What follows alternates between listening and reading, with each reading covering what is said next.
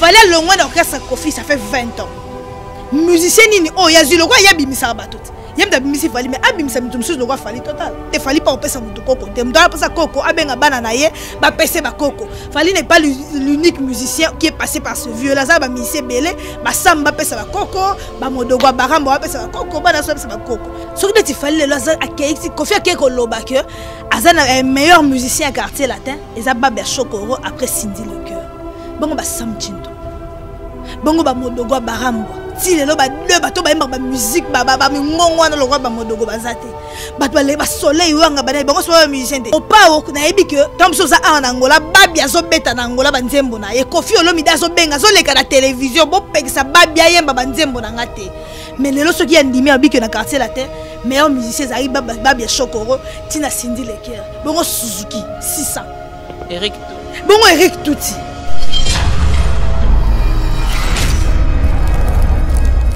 Kofi baza ba vieux oyo aosekisa yo na elongi eseka me motema na eseka te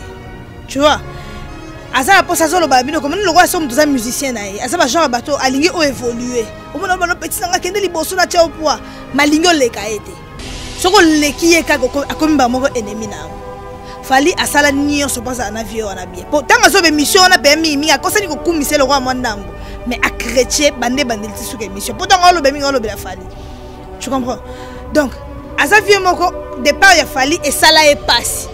ye azala kolinga fali ayebeke fali bo ndenge alongo lokola bamusicien nyonso akosuka na place moko azali ko s'attendre te ke fali akosala makambo oyo kofi asala te na, na carrière so kofi banda akozala na 50 ans carrière oyo fali asali na temps mokie oyo 20 ans depuis alonga quartier latin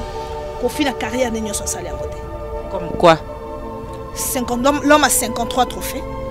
kofi na akomisi 50 te ata 20 trophées na akomi na yango te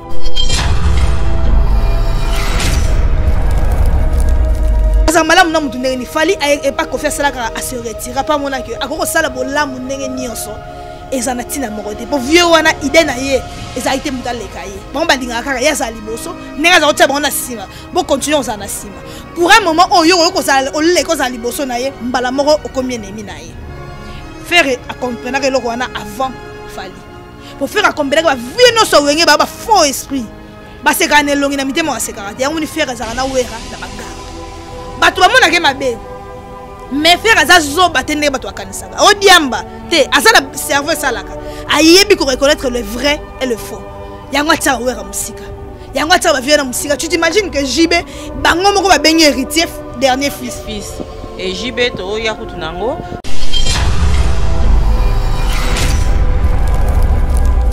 soit dernier fils eza faire et soit dernier fils eza faire ete par respect mpo na faire egola bango bakoka kobenga héritier dernier fils te par respect mpo na faire egola peut-être mpe héritier entre guillemets okoka kondima komba dernier fils te faire ecomprenake bavie wana baza bato moko balingaka ko kosalir bato tu vois yango tele makambo yango to bazo prépare stade de martyr ase prononça te na baréunion na bango mpe aya te azala na ye déjà distant okozala te na deux dernier fils c'est si eza dernier fils mpo na tel motif mpo na tel motif fere eza dernier fils mpo na nini boye eza korespecte fere te yango bavieux wana ngai na lingi omoni nde fere azala na bango kaka bongo akontinue ozala na bango kaka ndenge wana basekaka na elongi na mitema histoire de 12 ezalaka donc histoire ya 12 ya ewenge hypocrisie nde elalaka na wenge bango baza bavie moko ba très hypocrite bavie moko baamite ya mabe balingaka bapeti na bango wana te taka jb abimisa motu te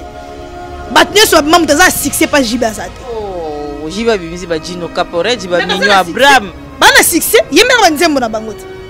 wera kutu bato bakoki kose distingue mwa ndambo mai toyebi ke wata azali na baproblème sérieux na wera lelo mpo azali mwana malamu mpo parce que héritier Deschamps na revivre boye asalaka vraiment moto moko bien nayebi te nafana ne pena mingi mingi te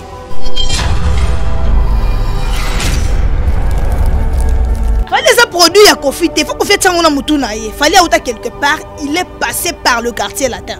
et soki fali s'il doit donner des coco bobenga bango banini na français soki bakoko baavo ce n'est pas la personne de kofi olomide eza ya président ya tala latin nde fali moto fo apesa bakoko soki kofi so aposa bakoko aza ya kokoka didiston ya del piero ya roki ya bana nyonso asundwa na poto wana akipaka te to bamisu banisala toyebi te bango bakopesela koko mpe azoloba mambo egoïsme le premier égoïste c'est kofi olomide comment ça otala baclip ya kofi permettre ngai natelema cerveau kofi azalaka koto bato lixieuse koto bato ye moko aza ana katikati akamba kolokaba elenge ya mbonda biso ntango moto otala omona mo orchestre oyo eh, ya mokolo nango ye eza égoïsme te te eh, est ce que eza égoïsme te ngai alingi moto alakisaka koko michael jackson michael jackson abimisa musicien ipo apese koko johnny alidei o oh, ba Céline Dion ba nurse basa ba koko te lelo monde évolue ba vieux va comprendre tokomi na kilelo liboso ezalaki quartier latin boye bato bazoyi bafali basamba nani lelo ekomi mutu na orchestre na ye accompagnement epuis bamusicien ya ntango baozala na, na, na ombre na, na, na nsima ezozala mieux mpo lokola ayebani ne te mwasi babetise oyo bamusicien basalaka eza te bango bakofi na bazo bashoka bamusicien ebele seke bakimaka ye mpo ayo ozo bafali bamusicien ozo bakimi so oza motema te okosala crise Salut la famille, salut la famille, bonne année, bonne année, bonne année, bonne année à tout le monde. Bato balingaka mpena love quoi, bato love etosaka, bato love eyokanelaka. Rendez-vous moko ya le 17. France mobimba rendez-vous ezaka moko le 17 février à Lieusaint. Comme vous le savez bien, na salle 4 fi quoi. toya kosucre ville ya Lieusaint na un rue René Mayer avec Esebudino Soleil Wang soki okoboma soleil tikela yanuari te soki okoboma lewa tikela ye te wotana donc venez nombreux à partir de 21 heures le 17 février oyo obinaka dasa bombe quoi donc fete eza moko ya bamoi olingaka ye alingaka yo salela ye ke azala jour yango boye ebele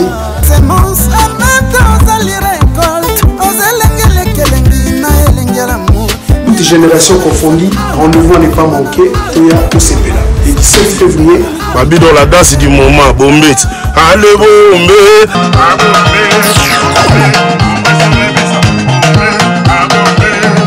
tika boya koyoka kilo ya paris charge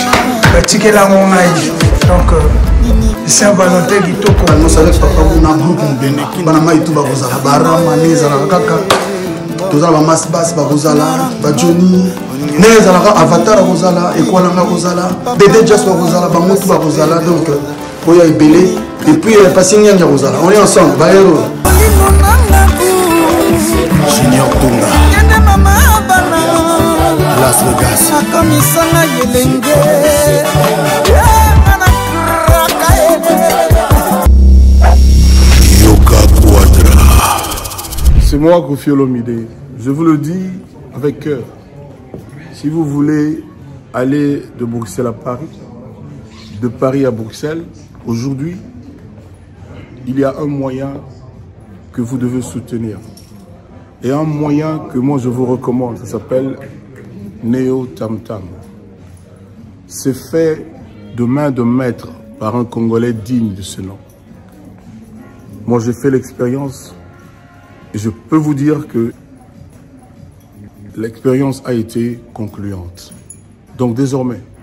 et dorénavant, pour vos déplacements,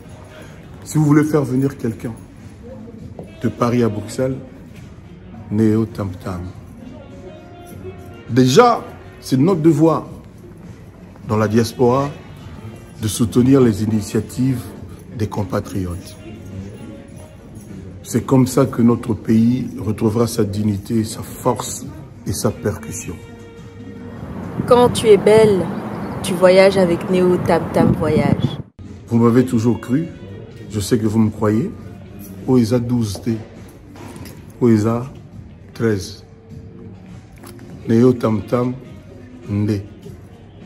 Paris, Bruxelles, Bruxelles, Paris.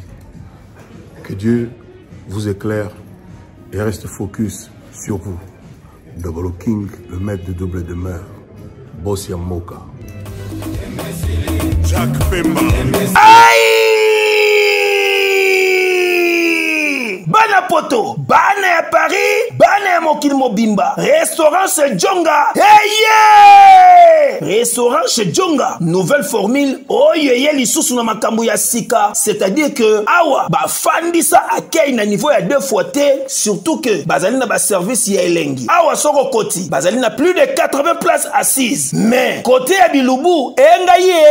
awa bavandisa specialité ya bilubu nionso, ezala africain to européen kasi kasi mpo na bacongolais fanda na yo nie mpo awa okolia mpe okokata mosapi yo moto olingi osalisa feti ya anniversaire bateme mariage conference to reunion moko boye yaka awa na restaurant chez jonga oyo bafandisa masolo tu joli kitoko na service ya kalite mpo na bilubu elambamaka awa yo moto olingi osala emporte ndenge osali commande kaka sikoyo sikoyo balambeli yo mbala moko mbala moko mpe ozwi yango oza mobimba restaurant se jonga ezofongwama tous les jours du lundi au dimanche 7 jours sur 7 à partir ya 8 heures ngingo oza mobimba oyo adresse na yango ezwami na 4e rue françois villon 94 230 cachon mpo na bato oyo bolingi bosala commande to réservation okoki kobenga na nimero ya telefone oyo Oui, frérot. Babi Tchonga. Futur. Futur. Hein? moto akosala 50 boite na kati ya kin se jongaske restaurant se jonga yango nde efandisi bilubutu awa na kati ya paris mpe na mokili mobimba eyokani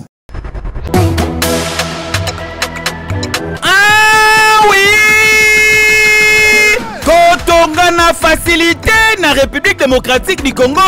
oui eza possible grâce ya congo global construction oyo ezali agence expert na makambo etali construction makambo o otindelaki mwana tata mwasi mbongo aliaki okuze moko akima ona mbongo ya construction esili esila grâce ya Congo Global Construction oyo aye na ba solution mpo na kofasilite na bino nyonso makambo etali construction esalema na fasilite nyonso batie na disposition na bino nyonso ya construction veut dire oza na terrain olingi basalela yo plan ya ndako kontakte bango o construction soki okotonga malembe malembe veut dire par étape obandi na fondation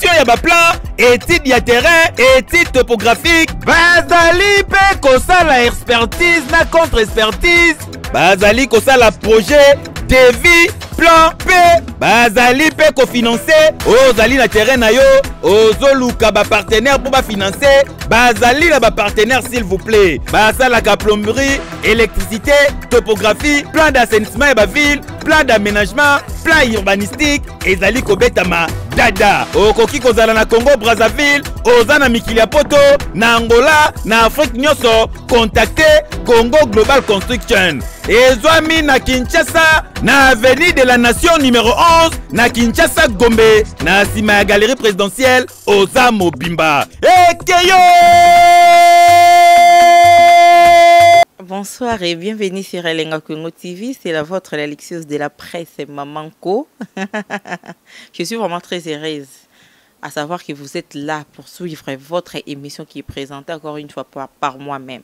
Donc, na séparation, na moni caméra liboso na nga boye nayebi ke makambo eza. Voilà, comme d'habitude, toza toujours na régie moana avec ma concert Lisa Kingisi. Na yende tozo ko analyser, tozo sola makambo nyonso ezo leka sur la toile. Oui, oui, oui, oui, oui, tozo sola de tout. Oyo ezo leka sur la toile. On n'a pas le choix.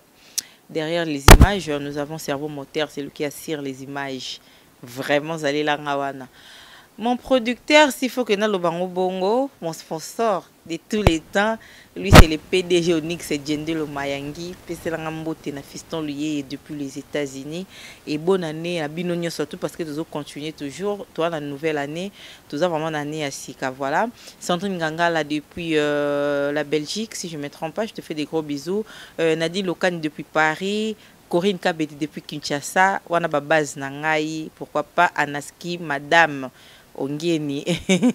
voilà toza wana nazoyamba déjà invité na ngai merci na bato nyonso botala biso de partout depuis turquie là je vois mon grand frère chéri il est beau il est cano chef d'entreprise eder euh,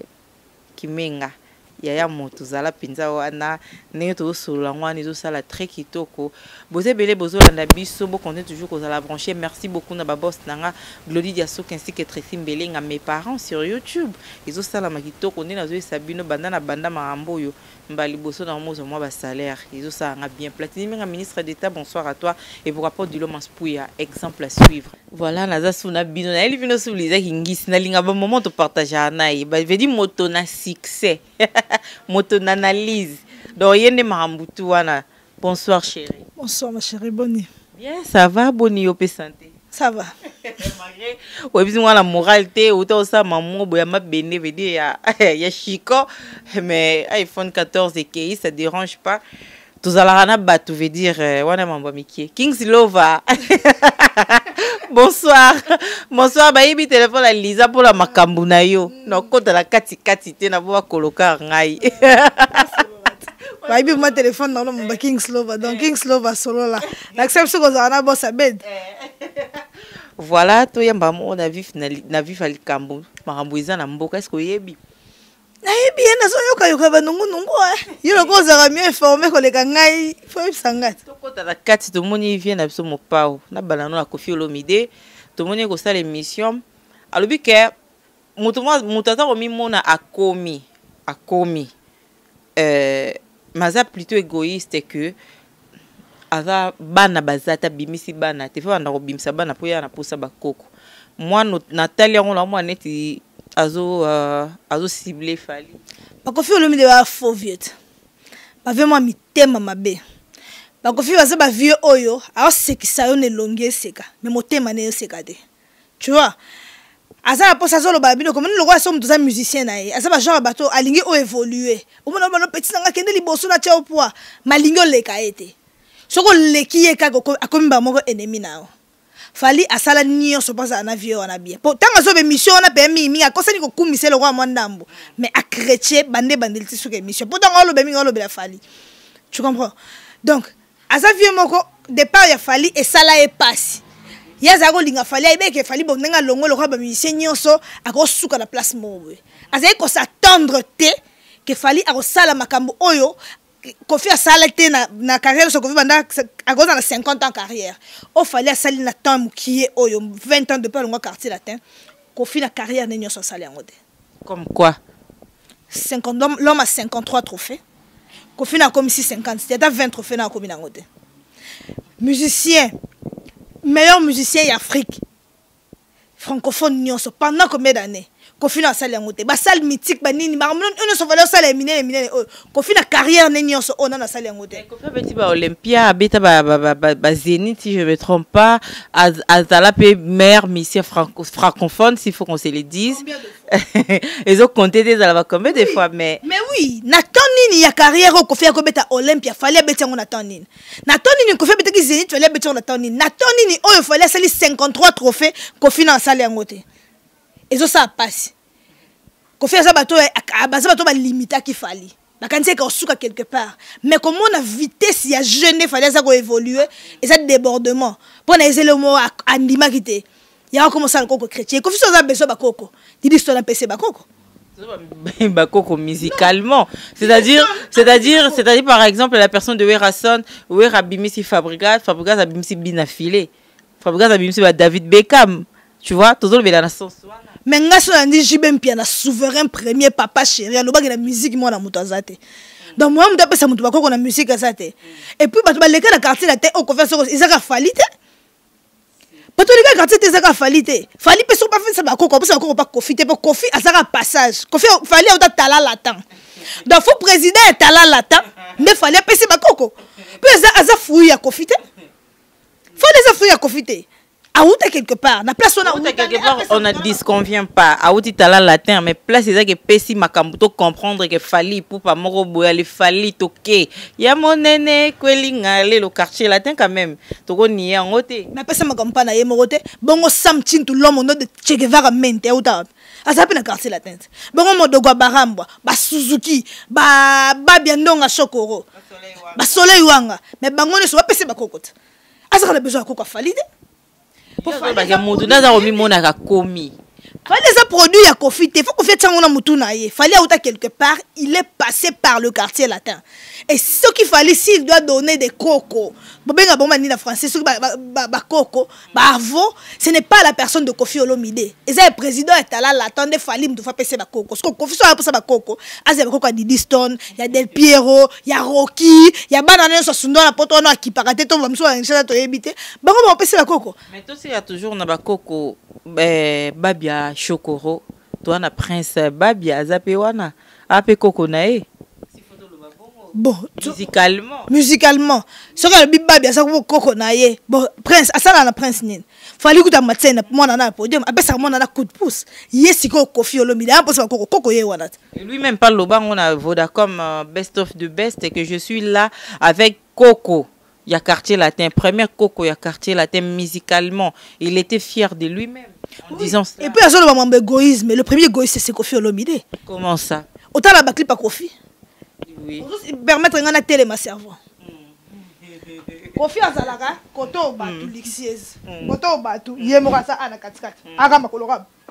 elenge ya mbonda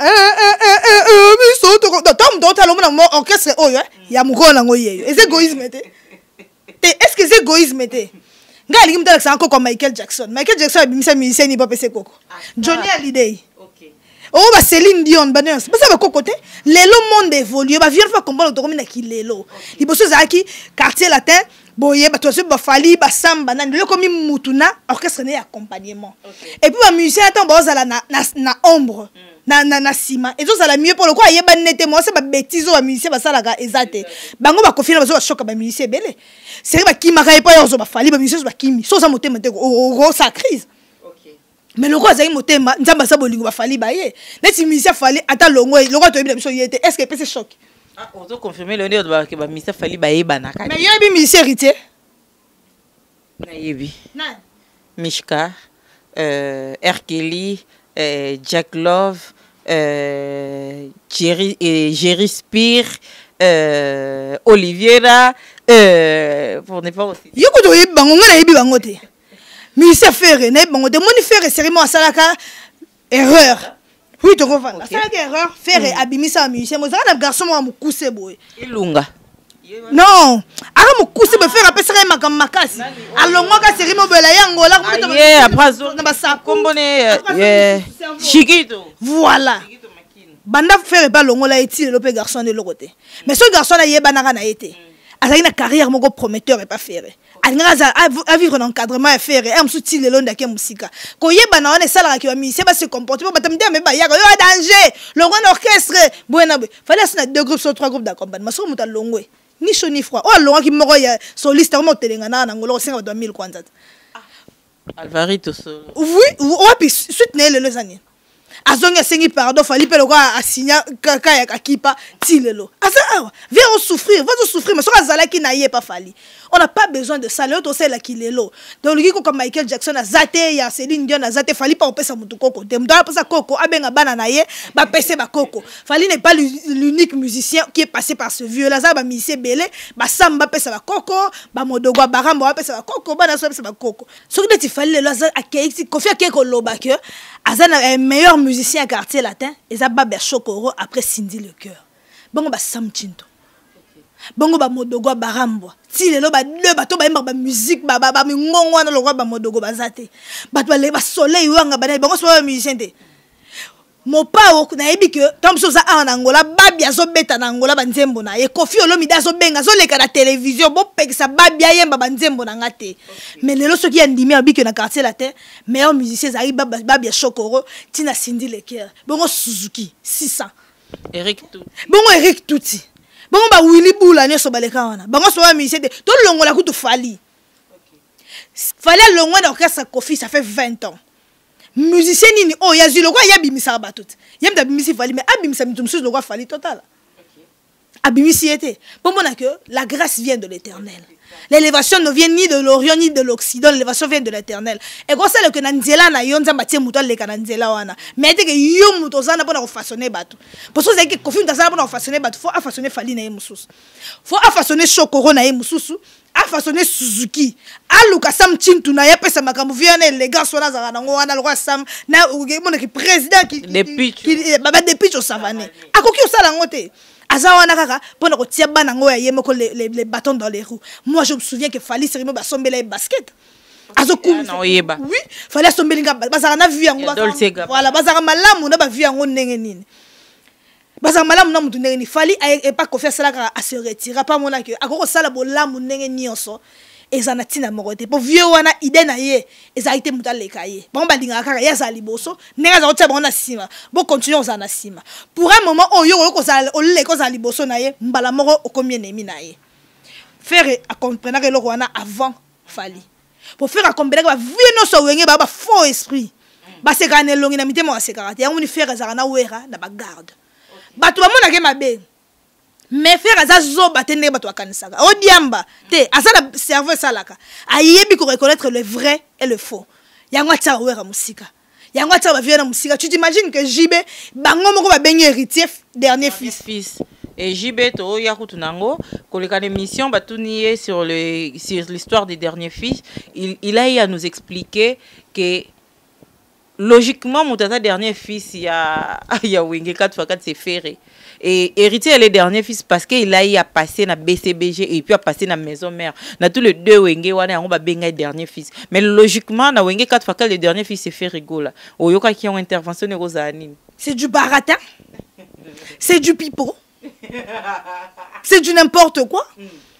soit dernier fils eza ferre soit dernier fils eza ferre te par respect mpo na ferre egola mm -hmm. bango bakoki kobenga héritier dernier fils te par respect mpo na faire egola peut-être mpe héritier entre guillemets okoki kondima komba dernier fils te faire comprene ke bavie wana baza bato moko balingaka ko kosalir bato tu vois yango tele makambo yango to bazo prépare stade de martyr à se prononça te na baréunion na bango mpe aya te azala na ye déjà distant okozala te na deux dernier fils ceci eza dernier fils mpo na tel motif mpo na tel motif ferre eza dernier fils mpo na nini boye eza korespecte ferre te yango bavieux wana ngai omoni nde ferre azala na bango kaka bongo acontinue ozala na bango kaka ndenge wana basekaka na elongi na mitema donc histoire ya 12 ya ewenge hypocrisie nde elalaka na wenge bango baza bavieux moko ba très hypocrite bavieux moko baa mitema mabe balingaka bapetisi na bango wana te taka jibe abimisa motu te bato nyonso babima moto aza na succès mpa jibe aza te oh, jibe abimisi bajino caporage baminio abraham bana succès ye mpe banzembo na bango te wera kutu bato bakoki kose distingue mwa ndambo mai toyebi ke wata azali na baproblème sérieux na wera lelo mpo azali mwana malamu mpo parce que héritier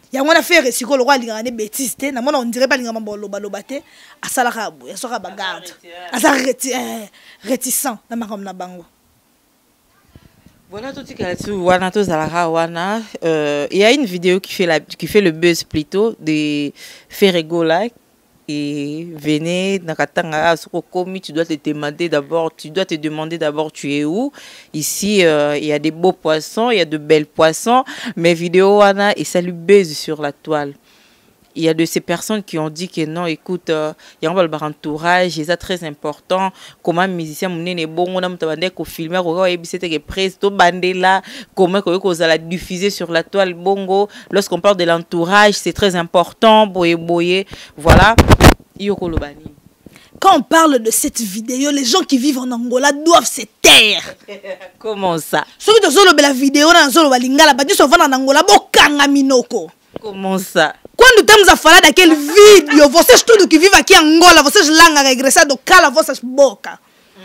Por quê? Porque aqui em Angola, awa na Angola, bato nyonso baloba toyebi loba français te. Xavier Lopez ozala d'accord na ngai. Na Angola awa soki bazwi 100% ba congolais, 98% bayebi loba français te. ozomona na ngola awa bapesaka bato bonne dimanche na, na facebook moto akokoma bonne dimanche à vous et puis omona 70 commentaire moto acorrige ye te ke bonne dimanche ezalaka te balobaka bonne dimanche mpo aloba bato ozongisele bonne dimanche à toi aussi mais bato oyo bakomaka bonne dimanche na ngola bazoseka fere ça c'est le comble de l'absurdité bato mosusu bazali wana ye moko kutu ayebi te ke balobaka de beau poisson soki de belle poisson mais aza kocorrige fere azoseka ko, ko, luxueuse eza na eloko moko congolais aperda eloko moko babengaka kaka koapprécie eloko koapprécie congolais aperda eloko wana eza qualité moko congolais azalaka nango te congolais akomona nde olati boye bakumisaka elixi ezalati kitoko ah. tomona mosi azala na couleur ya kitoko tomona mosi ana boye aloba te mais mhm. sala fo pa moko akritike yo abandi oke kotambusa yango eza eloko congolais azala nango te eza likambo ya éducation toperda sens wana ya koluka koapprécie likambo français nanu tokende na, na nini eza langue ya fere te okay. bafere toza bato olobaka lingala na congo tokende makambo nano ya classe toyebi ti toyebi fere toyebi kaza licencie te mhm. asala doctorat te mhm. fere auti na famille moko modeste famille moko très simple oyo oh, mama na ye mama marie que je salue en passant aki mwasi moko babe aperda papa na ye to aza mwasi na yo kaka fere gola nani kingandi gola ondire baza bana mibali mo ebele cheri gola ye consort abokoli bana ya mibali ye moko mwasi mwana mwasi kobokola bana mibali eza facile te peut-être faire akomaki na classe moko lokola ayebi kokoma ayebi kotanga mosusu deuxième troisième to quatrième je ne disconviens pas je ne disconviens pas Tu sais, dans la vie, Naroko Zala Natanga était na souka na 6e primaire, mais ce nzamba basali grâce que nakomi ko atteindre ba niveau moro boye, il faut na s'intégrer sur beaucoup de choses. Il faut na na luka ko ko ko koma musika ya sur beaucoup de choses. Parlons de Fally Ipupa. Il a eu à faire des erreurs aussi na mission pas dans moi problème à français, bo- mais j'ai compris qu'aujourd'hui lorsqu'il parle euh, lorsqu'Aleki na chaîne moro à télévision, aux hommes qu'il se débrouille pas mal azoloba mpenza ko ozo comprendre ke bapoint eza respecte awa eza likambo boye eza boye verbe conjugame kitoko awa nazokoma place ozali atangi na famille moko modeste donc r mosusu akomai na temps moko boye lokola alingaki musique mingi peut-être akata ye classe r mosusu azoki diplôme asukaki r mosusu mpe azalaki avant diplôme d'état mpo toza na kotoyoka te ke ferre akenda université okay.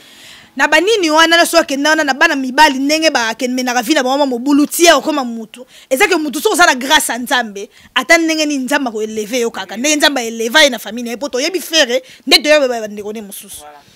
na nyonso wana akomi musicien c'est vrai akoloba français ndenge moko te na moto abotama na français na ndako na bango akoloba français moko te na bana batanga na école belge na école française akoloba français na mwa ba gaffe na mwa ba erreur erreur oyo eza humain eloko ba musicien na biso basala eloko oyo olobi bayekola koapprendre ntango okomi na niveau moko boye yekola talaka ba dessin animé lokola baoza na bana bana bapoto dessin animé je ne disconvie pas eyebi mpenza koyekolisa biso langue eyebi tokoapprendre ebele mais est ce que aza no na temps nango non il faut acréer temps mpo na nini aza musicien aza euh, invité ya koleka na baplateau ya télévision nakomi omona trop na bachaine ya côte d'ivoire na ba tv 5 monde na banido aza obligé na notoriété oyo akomi nango il faut ayekola français asala makambo lokola bozi te banda banda carrière tiakoma koko no aloba phrase moko na français te ah. wana ve bozi ah. sikoyo na bato oyo bazoseka fere na moto aloba wera moto aloba cultivo la haine na afrique du sud na ferre moto alobi na ye kaka de belle poisson erreur nini eza moi passable selon yo lexis C'est ça, mais gros, Tu vois la haine et non la paix. C'est un peu grave. Bel poisson, beau poisson. c'est des choses changement de fréquence changement d'adresse chez jonga bolelaki tro o oh, esika ya bino moko ezali te boyeba ke jonga azwili bino solution azwi esika ya ye moko oyo akofandisa ideologie esika oyo bakongole tu bakobanda koya kokutana na ndenge ya defwa te chez jonga de chez jonga de awa bokokuta biloko nyonso bolingaka ya kotumba lokola ntaba ya kitoko mpe elengi, soso ya kotumba, ngulu ya kotumba, pwaso ya kotumba. Esengeli koyeba ke chez Jonga de bafongolaka kobanda mokolo ya mardi ti dimanche. Awa nde esika ambiance ezali kolala, adresse eza kaka se moko chez Jonga de. Weekend boza deja ya kosepela mpo awa ambiance elalaka awa na ndenge ya defwa te. Chaque vendredi bobanda kozwa suzuki luzubu 4x4 ye nde moto akosepelisa bino na ndenge ya kosakana te oza kolia oza komela oza kobina mpe chaque samedi ekobanda kozala nde cnn alligator na baartiste mosusu bakobanda kosepelisa bino na makinu ya defwa te na bakunga ya kosakana te epuis chaque dimanche sombele suka ya bisanga nde bokozwa le grand chanteur emeli alias de mingongo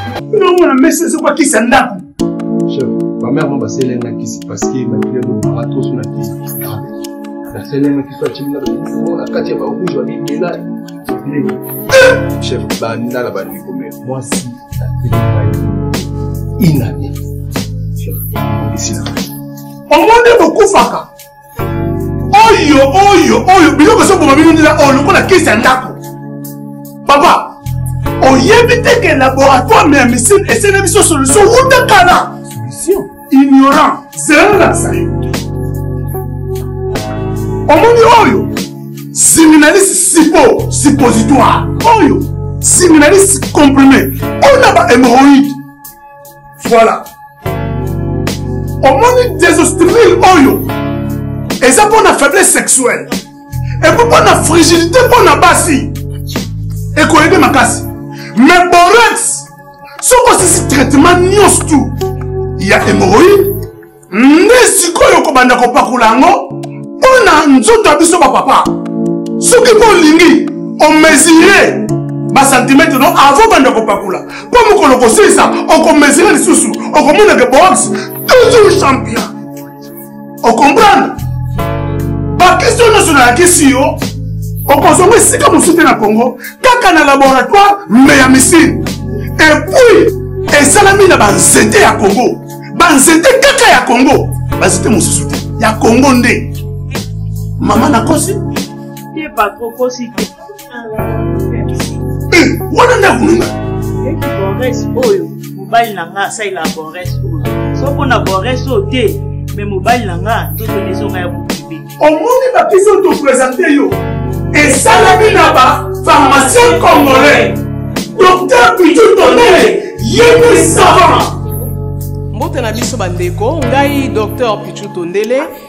naza pharmacien ya formation nazwi formation na université ya kinshasa na faculté ya pharmacie epuis nasali bamaster na niveau ya université marien ngwabi mpe na niveau ya canada na transformation des agro ressources epuis préparation ya bacosmétique thérapeutique naturelle nazali koevre na laboratoire crmta oyo ezali laboratoire meamicine spécialisé na production ya baphytomédicaments c'est-à-dire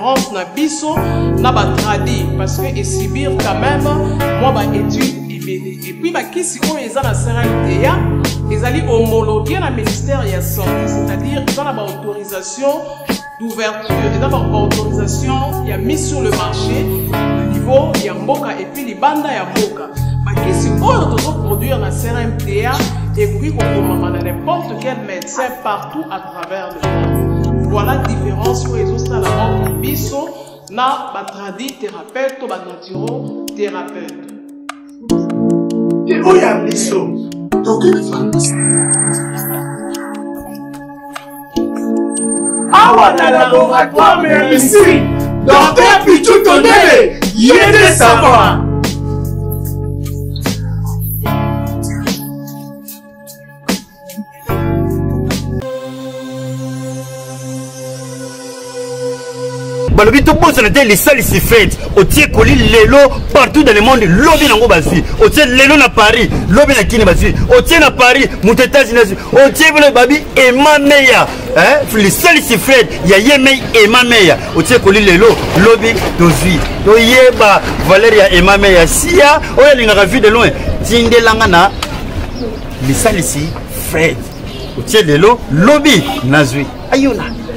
bana mokili mobimba bana afrique du sud bana paris donc 5 continent nyonso bobanga te soki omoni ka agence frete oyo eza ya fondation lisalisi ya ema meya tya biloko lelo lobi ozwi ah! ema meya quel miracle quel miskit tala conscient fo topesi yo biso nyonso mpona frete na biso toke na markade na Statorus emame ya fondation risalisi fred tuke tutie biloko na biso wana tokozwa yango ndenge totieli yango ndenge mpe tokokutila yango ndeko zala na conscience ya fred fondation emameya tya biloko na yo kuna okozwa yango na kisasa okozwa yango partout okozwa mpe na poto otii na amérique okozwa na amérique otii ye na france okozwa mpe partout uti na congo ekei na poto euti kuna ekozwa makaka emame ya fondation lisalisi ntango toyebisa bino fondation mpo bango babanda na biso na fondation depuis kala ti lelo tokomi ba immeuble aza kaka wana na biso toyebi bino emame ya fondation fret ofretaka biloko no wapi okotisaka biloko wapi esalaka ba 2 ans 3 ans po ekoma olembi mais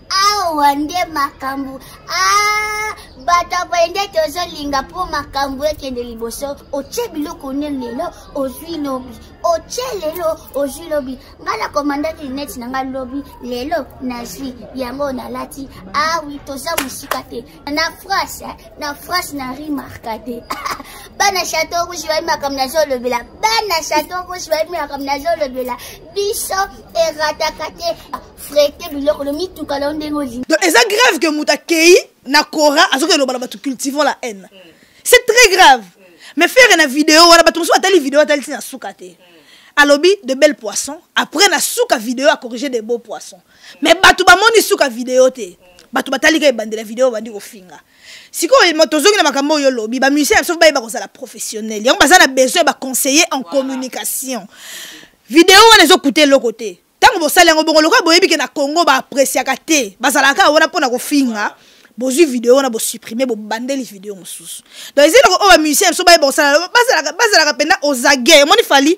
professionnalisme ntango toloba babe to tokumisaka fali mingi tozoloba verité po asala tout atiki na mambaka soki kozalaka entouré na bamasta te zo baye bata mayele baye wana ple baye mpona kosala pe boulot mpo na koapporte benen plus ke français balobaka boye te eloko boye te ebos tolongola to video oyo basala video mosusu mpo ezokute eloko moko te telefone eza wana nini ezali wana faye basala biloko mwa ndenge wana mais sinon que ce soit de beau poisson ou ce soit de belle poisson ça reste de poisson de toute façon, ça reste de poisson. Restons toujours sur la musique. Elisa Bovararay. Donc, même un message BCBG, Baro, les gars, les gars, en émission. Balobi, on va aussi sa monotonie. et puis euh, bazo beta musique autotune te eza voix eza mongongo baye kosisa na monotonie lorsqu'on parle de ça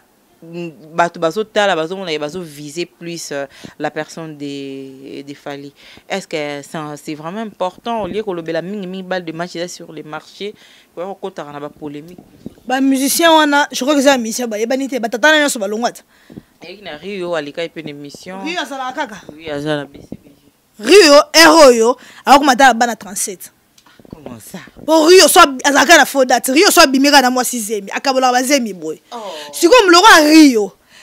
abanda carrière kala bazalaka bango nyonso bafali na bafere sikoyo ata na baninga nde bazali ata na place ye azali sikoyo na place aye kokretien moloko afali fo atala na bomoi na ye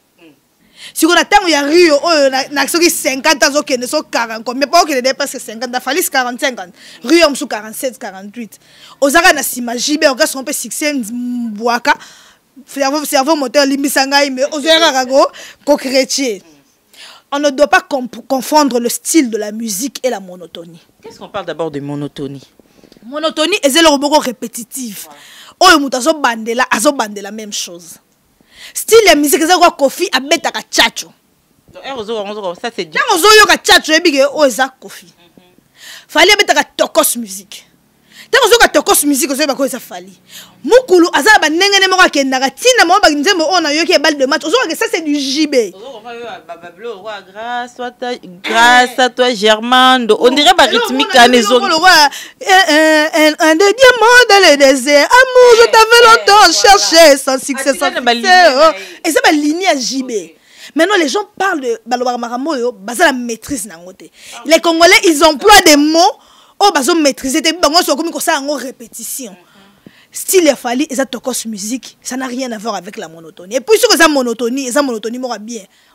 monotonie ezopesa ye disque d'or certifié donc il faut continuer na monotonie monotonie ozotondisa bastade na préféré continuer na monotonie wana monotonie oyo epesi 53 trophée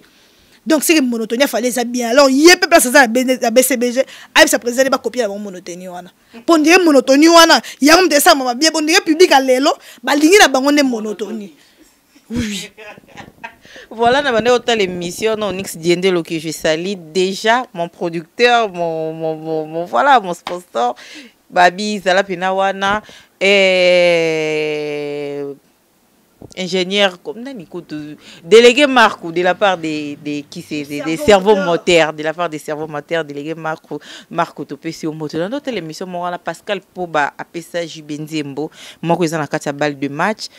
mais titre nzembo wana titre nango ezalaka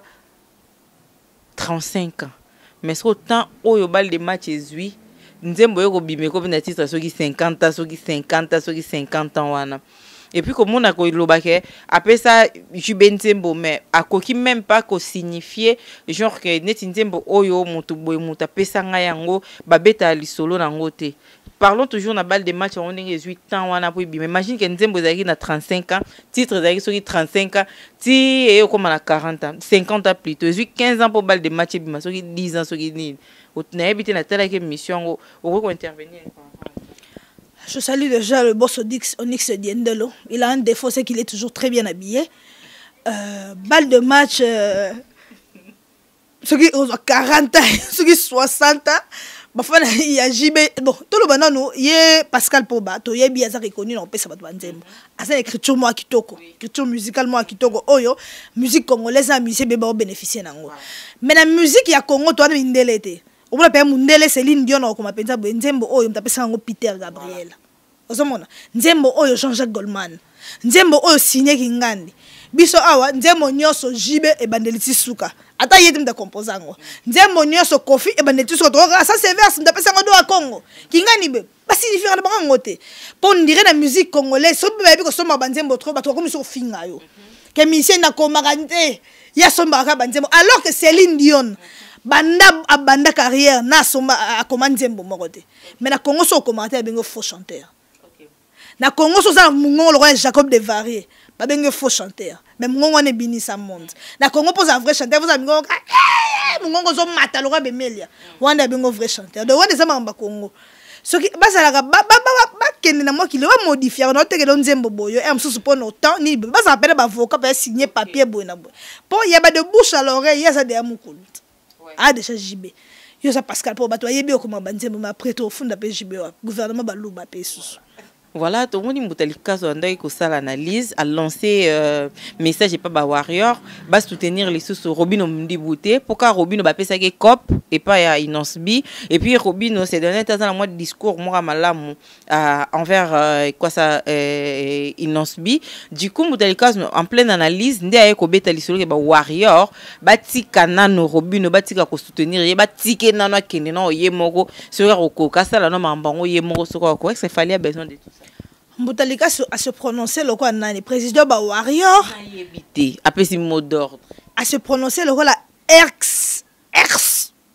ex artiste oyo succès sila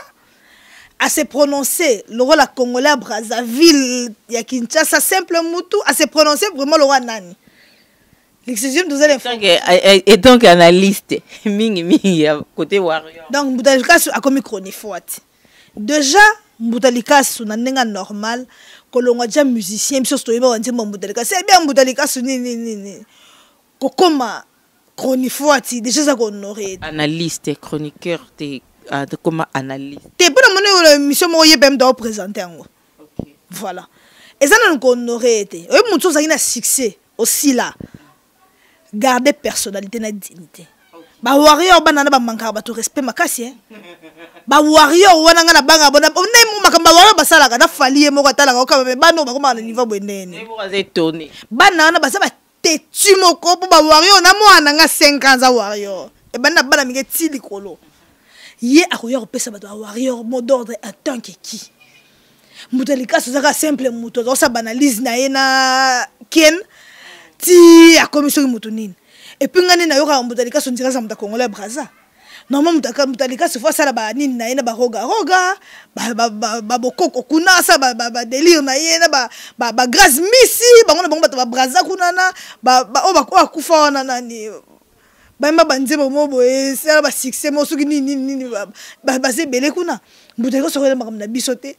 Pas bando ya ko imposer bato. Robino, il est dans ses droits les plus élémentaires. Il est libre ya ko telema na plateau télévision soko li mai na ya lati bilamba na ya ya lobi. Ba pesi ngai cop et pas ya Innoss B. Et ça ne choque en rien Fali Ipupa parce que Fali a ça temps ya innocenté. Na Congo bato Fali a ko banga bazé belé quand même. Innocenté. so eza na bato oyo kefali akobanga moto aloba likambo moi je pense pas que eza innocent wana eza badistraction moko inutile moto alikasi so aza na besoin kuta apusana pembe na fali to azala pembe na bawarrior bandoka beye to nini il doit chercher peut-être un autre chemin ya kokendele koluka blo bongo mpo moto mosusu akoyeba bien te tokoki kointerprete yango keloka mot d'ordre wana euti bafali soki ata yorobo moto alobaki yango to bazalaka na aigle 24 heures sur 24 tu comprends soki ata mobali ya nana boduga akomonela nini eh. edi badiata moto alobaki yango toloba moto tomse uti paya mokolo ba warrior mais pa mbuta likasu moi je ne vends rien eloko ba warrior bakolanda mpo soki mpe ba warrior bazalaka soutenir robino nde robino asala mpiaka te na olanda okay. mpo na olonda bawarrior baza ntango deja loko bino abeti baconcert nyonso esali piaka elakisiki bawarrior baza basutenaka ye te batalaka na bango ye bayebi ke papa bango aza na makambo bato badiembelaka ye tu comprends mais bawari oyo bapesaka moto nyonso confiance te baonda koya makambo na bayebi ke oye wana par intérêt mpo soki fali ayaki na succès te robino mpe alinga azala wana te aya wana ayebike nadiembela vie oyo aza na makambo mpa na ye na kobanda ozwa makambo bato na ye ayoso kobanda osoutenir ngai soki asali makambo na ye na innocent aza reconnaissant c'est une bonne chose musique à congo eza na besoin bavaleur wana ya biloko wana donc bawarrior baza na rien à voir même la personne de fali ipupa na rien à voir na makambo ya robino wana robino aza petit na ye lokola fabrigas lokola bapetit nyonso bazalaka wana donc je pense pas que eza kointeresse fali alors mbuta likasu luka makambo mosusu sala baanalyse na yo nde biso tosala baanalyse boye oke obeti matolo pa paolo du santos guerrier namoni boso nix diendelo nabeti matolo na ngai nakeba ben wili le gabonais nabeti matolo na ngai natamboli tamboli nabeti matolo pa kings lova namoni le bos abeda sur le bos le plus frais nabeti matolo mais ya kokende kotia na komba bawarrior opesa mot d'ordre aza na droit wana te nakomi kuna te Denis Lessi qui passe à la télé va tourner na 2022 oyo ti ndenge esili musicien ya yokisi Congo soni musicalement et Denis Lessi cite c'est le scram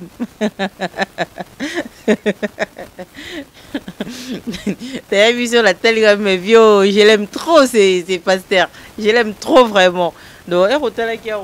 Chelo Oscar baza les analystes. Baza les analystes. Ba collègue. Solo ya beta ne musique te. Asala ne ba théâtre na ye. Soki ba théâtre na ye yokisi biso soni mo basila bisalu SB baza ko honorer biso. Omo ba Bellevue baza ko ignorer biso. Soki théâtre selo oyokisi Congo soni. Lokwa tozala ba SB eza déjà bien mpona biso. Voilà Alexis, namoni leo osaloba te. Lisa tellement mystique. Voilà, nous sommes arrivés à la fin de notre émission d'aujourd'hui. Elle, c'est Lisa Kingisi. Donc, au oh, Makambu na biso. Eh, makambo eza makambo na biso bozala branche banalyse oyo bosepela na yango nde bozwa kokommente elle est trop intelligente cette fille c'est rare omona une fille qui réfléchit comme ça c'est rare omona boye boye mosusu bayaki wana o oh, ta bandumba boluka vie pour votre formation awa basa mabala awa bamama ya bana tout ça là donc euh, voilà donc euh, voilà voilà voilà tokomi na suka ya émission na biso un grand merci na bato nyonso to batali biso kingisi evandisa na bato nao vraiment napesi mbote na bato nyonso batali biso balingaka biso je salue papa na bana ingénieur nzoko depuis le brésil papa na bagra